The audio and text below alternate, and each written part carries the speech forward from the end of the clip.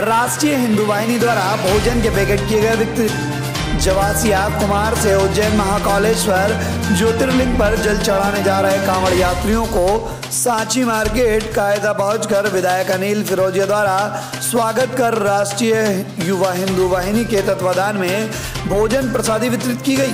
भोजन प्रसादी वितरण करते हुए राष्ट्रीय हिंदू वाहिनी का एवं तराना विधायक अनिल फिरोजिया रहे मौजूद।